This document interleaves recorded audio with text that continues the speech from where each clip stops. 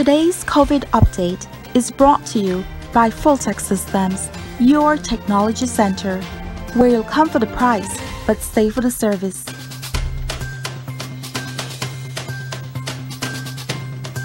And we are back. And if you're joining us right now, we're getting our first conversation for this morning started. And as we mentioned before the break, we are going to be getting an update from uh, the Honorable um, Minister Jose Abelardo Mai, who is the Minister of Agriculture, Food Security and Enterprise. And uh, Minister Mai is joining us via Zoom this morning. Uh, good morning, Minister. Good morning, Gavin. Good morning, Marlene. It's a pleasure to be with you once again. And it's a pleasure to have you on our show again. Um, and uh, so, um, the Ministry of Agriculture, of course, has been, uh, well, there's been a lot going on in the ministry over the past uh, few months.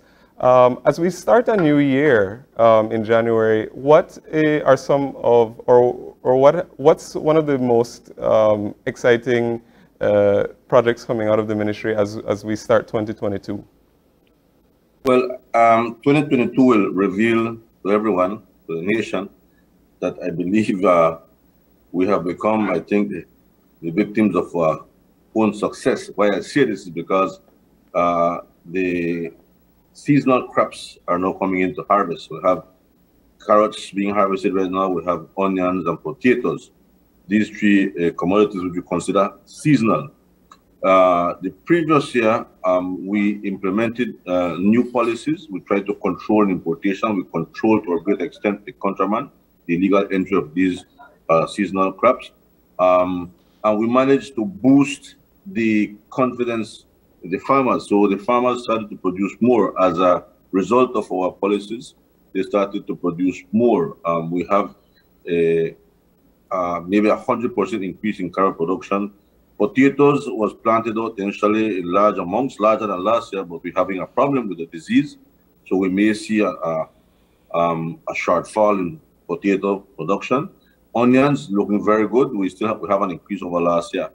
But what is important for us is that as we are commencing the harvest of these commodities, we um, are in the process of setting up uh, cold storage facilities for these farmers. Mm. Um, we like to thank the, the Japanese government, people of Japan, and the ambassador and their staff in the lead for being so kind and helpful to us. Last year, when they visited, us, we explained to them that we could extend our season if we were only able to to to facilitate the farmers with cold storage um, facilities. They went out to the fields with us, they visited, and they saw that our request was justified. And they came back a couple of weeks after and said, we will provide to you four containers um, and refrigerating equipment. So that right now is being installed at Central Farm. We will uh, deploy them to the districts where it is more uh, in locations where it is economic to run the cold storages if we manage to do this well, uh, we can store a substantial amount of the production. The, the food containers, uh, for the food containers, which uh, JICA, Japanese uh, organization, gave us, but we are also complementing that with marketing board's own investment in uh, cold storage facilities for the farmers. So I think that we're on a, a very good start for 2022. Okay.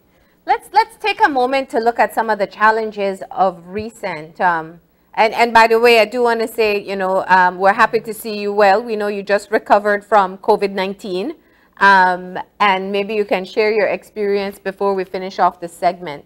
But Minister, Mai, um, you know, a few weeks ago, you were looking at a very tumultuous situation in the sugar industry. Um, let's let's talk about where we are today and what is your outlook in the Cane Farmers Association being able to peacefully hammer out an agreement uh, within the time they've agreed upon? Um, Mariani, sugar industry, sugar cane production is, you know, very close to my heart. I being a cane farmer, coming from a farming community, my constituency being a 100% rural, um, it does mean a lot to me, to my family, and economically, it means a lot to the country. So it ought to be addressed with, I should say, TLC, tender loving care.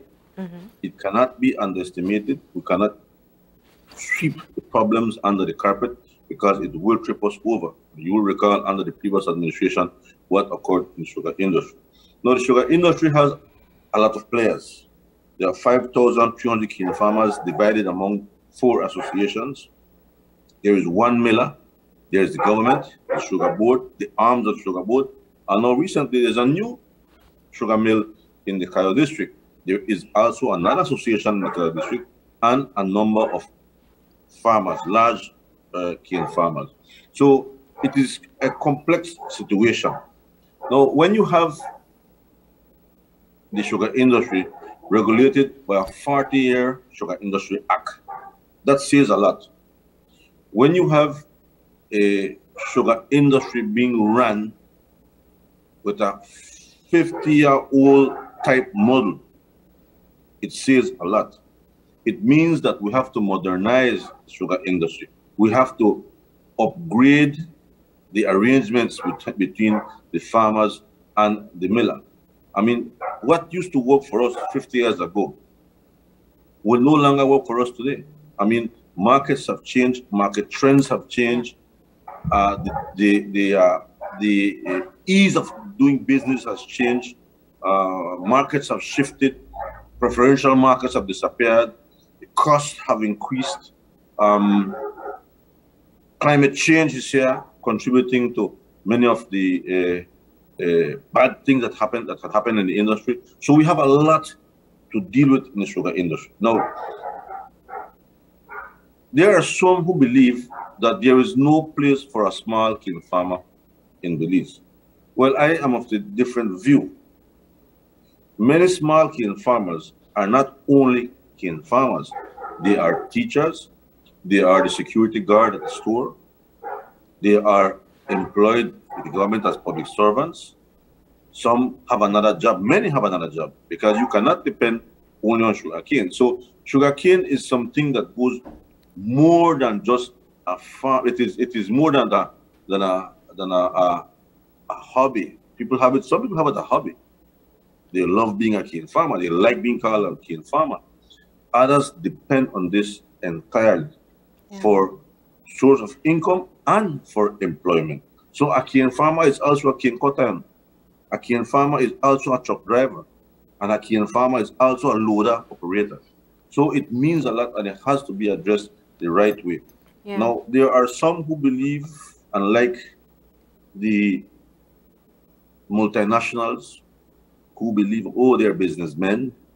Well, no cane farmer, I believe, is in this hard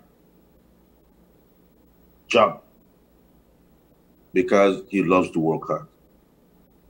Cane farmers are businessmen too. That is how they generate money to feed their family, to pay tuition, to pay the bills, and to maintain their fields. So they are businessmen, except that they operate at a different level. So everybody has to be treated as a businessman in today's world. Nobody works hard because they love to work hard, for work hard sake. They're in this for the money they can make, for the profit that they can make. Yeah. So I am hopeful.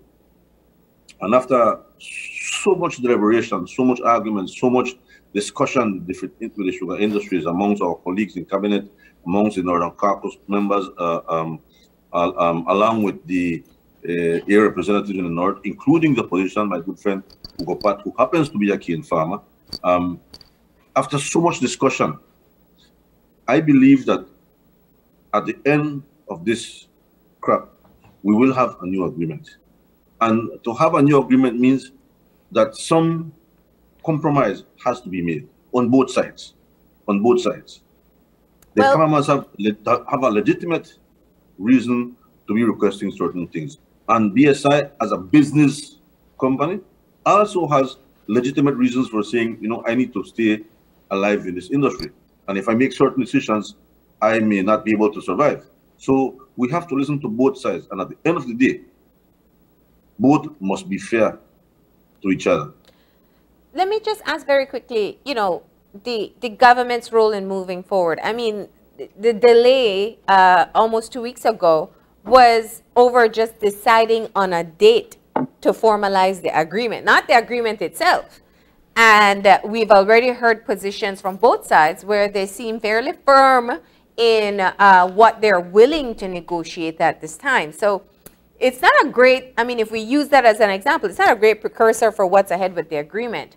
Uh, what's the role of the government in, in mediating um, if it's already understood that they have very different opinions as to what need to be in the agreement?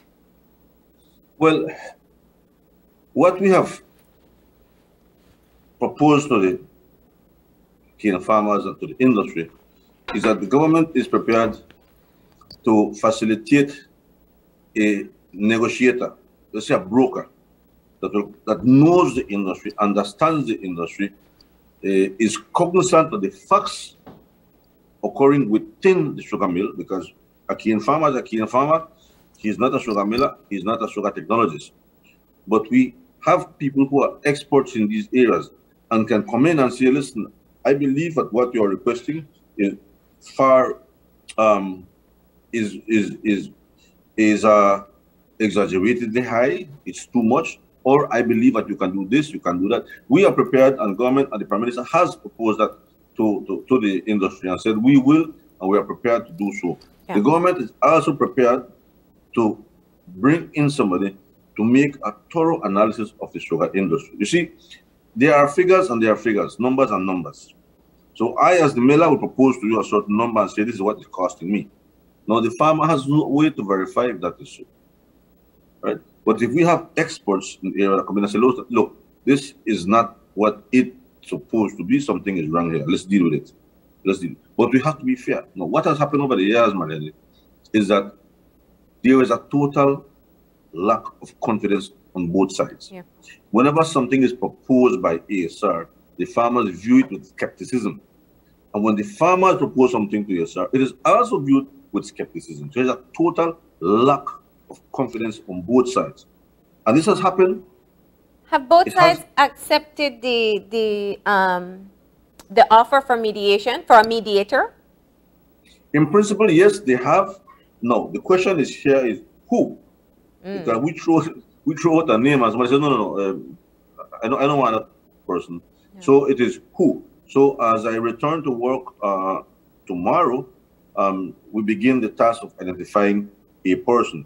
But okay. it's good to know too, um, um, would it, would it, be an international representative? I mean, what's what's the thought process here? You know, I mean, I think the word you used is right. There's this skepticism it, when yeah. other people get involved.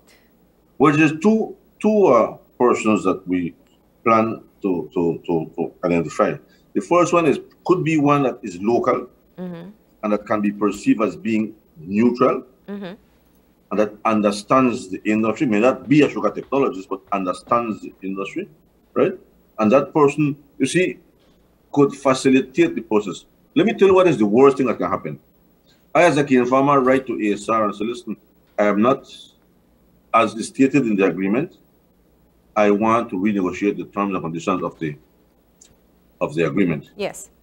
And then BSI takes one month to respond and say, I have no interest in negotiating with you. One month.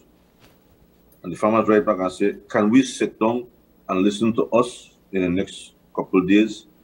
And they take another three weeks to respond. And they say, Give me a rationale. Yeah. And then time is dragging on. And the farmers respond again and so far, two months has passed and nobody, and they have not sat down. Mm. No, I, in my view, the first person will ensure that this does not occur, right? Okay. If if ASR has written to BSCFA and said, I want to meet with you on this day, that person will ensure that the correspondences are received and replied to in due time. Mm -hmm. And that, that should be reciprocal, both sides. So we don't accuse and say, oh, um, I want to meet with you, but you don't want to meet with me. Or I want to meet with you at my facility at, at Tower Hill, and you are saying, no, I want to meet with you at Gala Lounge. And, and these are all delayed tactics mm-hmm. on both sides. We cannot continue to delay the tactics, delay the, the process. We have to begin and begin now if we are to have an agreement by the end of the crop. So both sides have to understand that. So that person will come in and facilitate that. Yeah. That among other things, in my view. Now we have to develop right now which our, our person that deals is working out on the terms of reference for this person. No. Identifying the other person that will come in and do an analysis of the sugar industry. There are various people out there with high profile um, um, uh, resumes uh, that have worked in sugar industries across the world, in South Africa, in Australia, in Florida, in Guatemala, in South America. And these people are knowledgeable and experienced. So we can look, let them look at our industry and say, listen, this is what you can do to fix the situation. So again, we are working in terms of reference to that. But important note to you right now, um, for you to know, Amarlene, is that we are at this time about to finish off the sugar industry, the, rev the reviewing of the Sugar Industry Act. That was, mm -hmm. if I if I could just interject there, because that's that's my question actually, whether or not the new act will be taken to the House before the sit down for the new agreement, because I mean I haven't seen the updated Sugar Act. If you can provide a copy, we'd be able to say more about it. But if that has implications on what can be agreed upon or how the agreement is made. Yeah, well, Marlene, um, just on Saturday went by, um, the individual responsible in the Ministry of Agriculture to feed the sugar industry made a presentation of the draft to the members of the the ministers of the North. Hmm. That was our first president. I was not there because I had I haven't been on quarantine for some time now, uh, but I understand that it was well received. There are a few questions and a few uh, uh, um, a few concerns. Mm -hmm. And of course, there are suggestions for further improvement. But this again has to be circulated to all the stakeholders. Everybody has to know what's going on. The it's, if it's one thing we do not want is that when this is completed and passed, someone say, "Oh, I'm not in agreement." Although we have heard and we have received correspondence um, from stakeholders. Listen, I, I, I, want nothing to see with with uh, with the law. I don't want to be regulated. I want to be free. This is business, and let's operate, and and let's get this ball rolling. Why does government have to intervene? Why do there have to be a law to regulate the sugar industry? No. Even Mexico, one of the powerful producing countries, even in Guatemala, again, one of the largest producers of sugar in the region and the world, it is legislated. Even in the great United States of America, the sugar industry is regulated. In a small country like Belize, where you have 5,300 small stakeholders, it must be regulated, or else the big fish will eat up the small fish. That is contrary to what we stand for in this government and as a party. We have to regulate to ensure that the small cane farmers are taken care of. We will not leave them out there to any multinational. At the mercy of any multinational, that will not occur. This is not the republics. This is not Dominican Republic. This is Belize. And we, in this government, we look after all the farmers of this country. Cane farmers, cattle farmers, and all farmers. So regulation is something that has to occur. It will occur in the best interest of the industry and the small producer. What's, what's the consultation process like with the farmers associations and, and the two millers? Well, regarding the Sugar Industry Act, um, we had written to everybody. Let me explain something to you. Um, there was a draft done in 2010. This draft was commissioned, I think, by ICA at the time. I think Dolat Bodran he was the consultant who worked on this 2010. For some reason or the other, that draft was shelved for a long amount of years, from 2010 to 2021, now that we came into government. Um, we look at that draft, it had many good things in there. With recent changes and occurrences within the industry, we made further adjustments.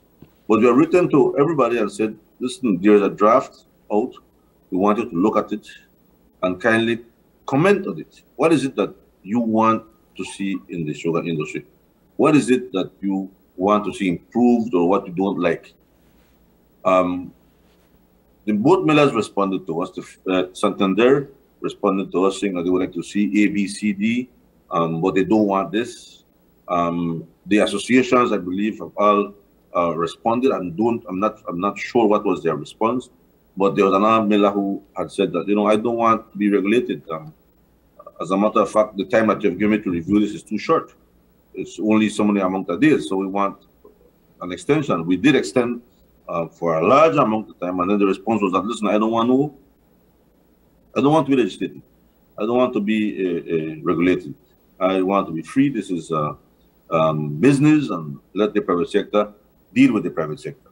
Yeah. Um, we um, we cannot we cannot consider that, of course, um, but we do appreciate their input in this. So there will be consultation with them. They they will see this Sugar Industry Act. They will see it, and they will have their time to say what is that they want or want not. Um, same with associations. Um, um, so it is So- something that is ongoing. It is ongoing, and let's see how that uh, What's, what's the time frame? When, when do you expect um, the, the act to be taken to the House? Estimated? I suspect that it can be done by the end of March. All right, Minister, I do want to move on to some other issues. Uh, uh, while that alone is something that can take up all our time, we know, um, you know, the, the bounce back um, from the economy, I, I, as we, as I know they're still um, finalizing the figures, uh, two industries have really been able to help. Tourism um, and, and the return of tourists uh, at a faster rate than was expected, and agriculture. Um, my question is, with the reopening of the borders, with the resumption of the contraband practice that we know, do you think that the growth that we've seen in agriculture is sustainable? I hope it would. I really hope it would. My concern is just that too, the level of contraband, um, and the level of the amount of money that will leave the country to our neighboring countries. But we must be real. We cannot lock down ourselves forever. So what needs to be done is to put measures in place to mitigate the effects of contraband or to reduce um, the illegal entry of goods. When I say illegal, it's without paying their, their, their, their duties and their taxes. That is my concern. Yeah. We have a lot to do. We are right now looking at, from our side, our units that deal with the importation of goods. We have, for example, BAHA has the quarantine unit. We have had, we have heard horrible stories that occur. And that many goods are coming to the country without paying their tariffs or their taxes. And I am very disturbed when I hear that BAHA, who is under my ministry, quarantine department, is being accused of these things.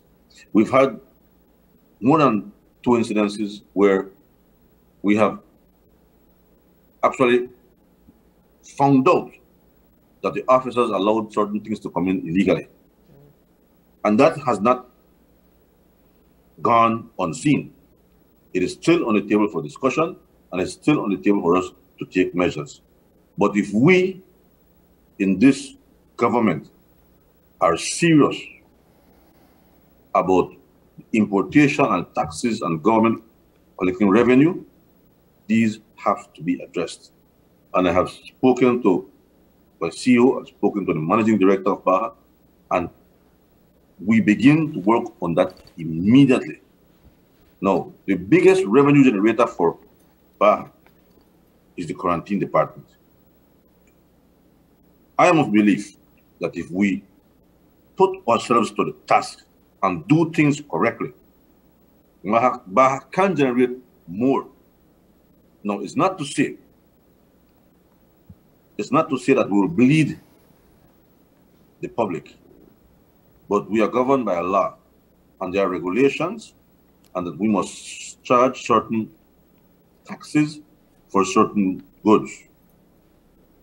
If the officers do collect and do not provide a receipt, that cannot be the order of the day. And that has to be addressed.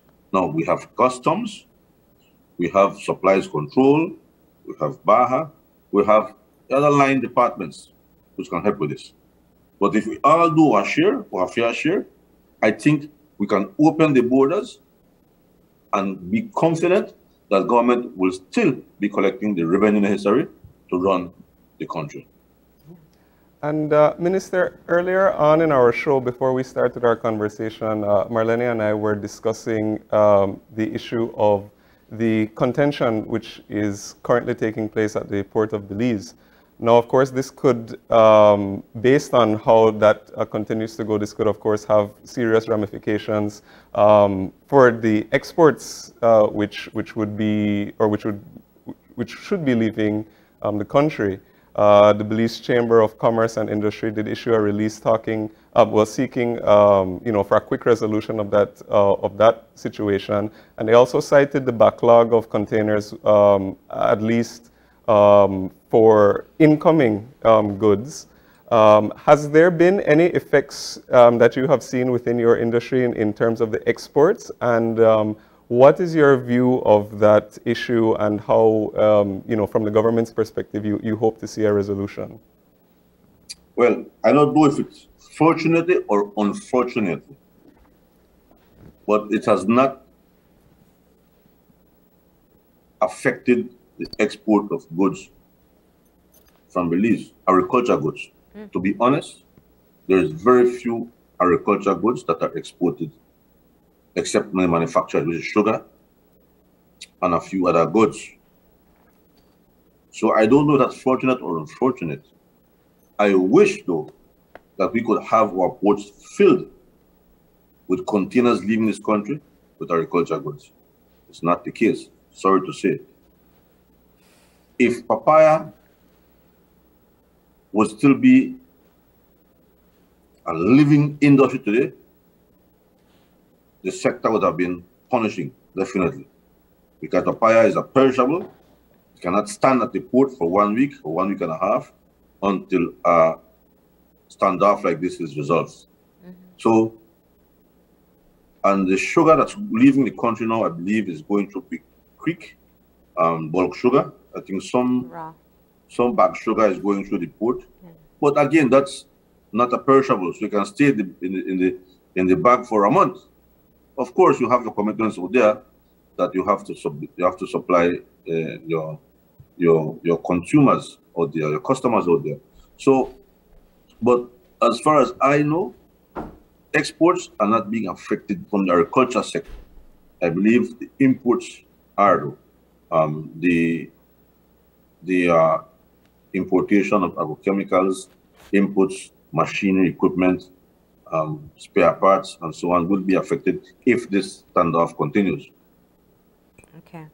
And if I could just, I mean, that's, that's one issue. I wanted to touch on another one. I believe the, it was the end of last year um, in the cabinet brief. Uh, there was a concern raised about the increased cost of living and your ministry was in fact instructed to look into things uh, that could be affecting that. Um, we know that uh, the, the cost of goods has gone up astronomically for many persons and it's not standardized. Let's talk about what, what your ministry is doing in looking at this issue.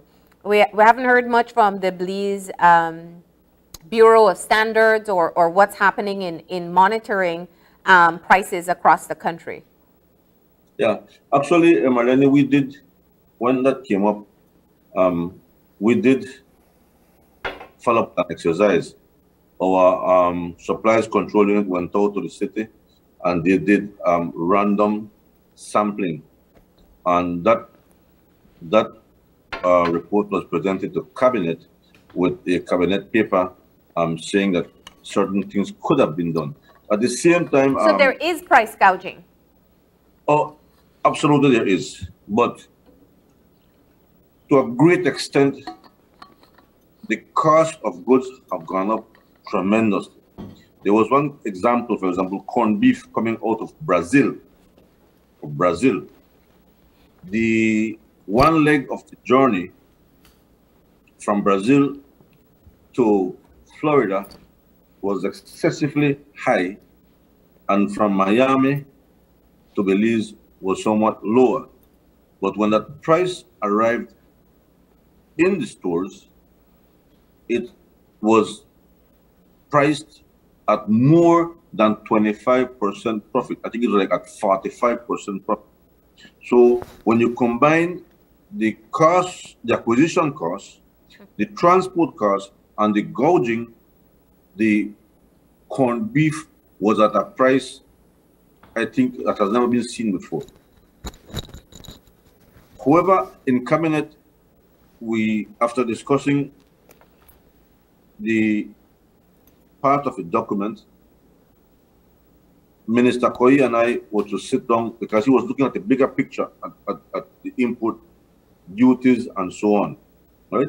And so we had decided that we will sit down and look at combined both cabinet papers to come up with something, um, one cabinet paper to implement. that was just before I, I uh, got infected with COVID mm. and had to stay out of cabinet. This is my second cabinet um, that, I'm, that I'm missing today. But um, we, but we if, need to if I could just get a question in there on, on the same thought though before you move forward. Uh, what about issues like consumer protection? Because I think that's where there is a rising cost of goods, but people are able to identify where, just as you outline, that the, the profit margin that is added in in some stores is, is very different and, and exorbitant compared to others. But what is the level of protection that us, as, as consumers who go in, expecting that there's some sort of, of monitoring that is taking place? Marlene, we don't have the we don't have the staff, we don't have the human capacity to do that. But in the in the cabinet paper, we had proposed that we let the consumers protect or police these stores. Um, we had, well, in the cabinet paper, we had suggested that you walk into a store and you see a price of a good that is elevated above what it's supposed to be. You call a hotline and immediately people go, uh, or, or staff goes, look at it, and issue tickets. We were discussing about issuing tickets to the shop owners, right? And and and tickets and closing down the business until that ticket is paid. And that business would then be also advertised in the newspapers or in the media so that people know that these people are gouging. Now, we believe that by if you do five, six stores in Belize City like this, Nobody wants a store closed because they're gouging. Everybody would know that they're gouging. So the consumers would not go to those stores to buy because they know that they're gouging. So again, that was all the content of the cabinet paper, which we will bring back next week in, in, in cabinet for us to uh, implement. Uh, I will meet um, this week with Minister Coye and the other ministers, and we will make adjustments to that cabinet paper and bring it back for for cabinet's approval, but that has to be done. Um, it is important because price owners, uh, sorry, shop owners are just taking advantage of a situation.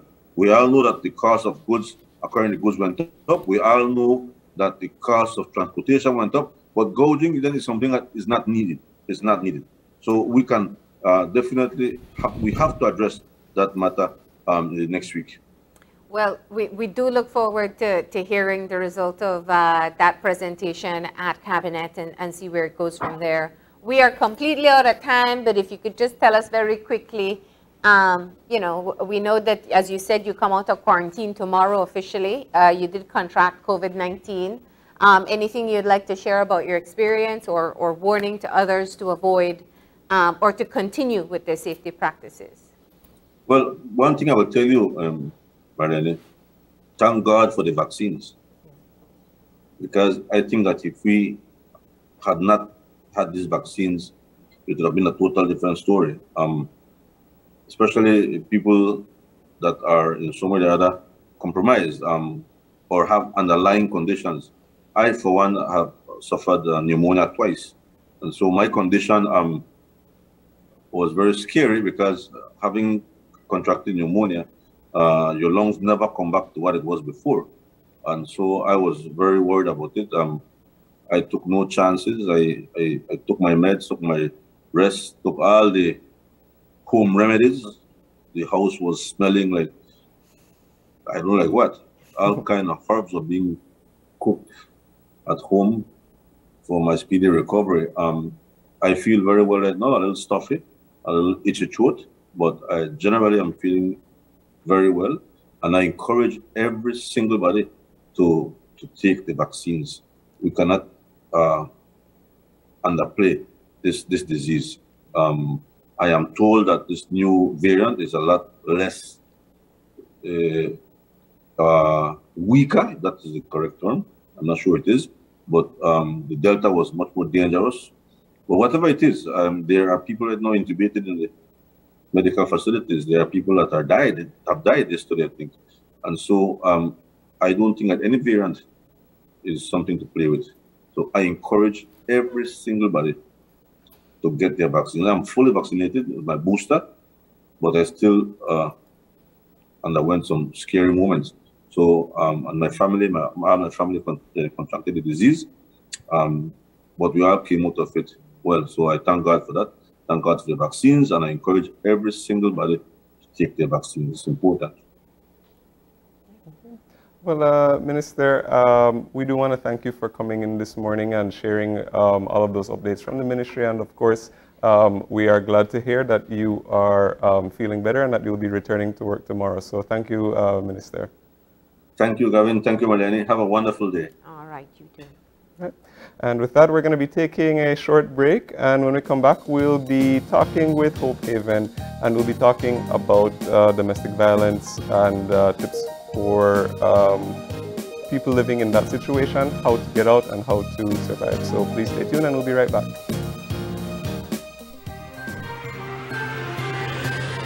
This COVID update was brought to you by Fulltech Systems, your technology center, where you'll come for the price, but stay for the service.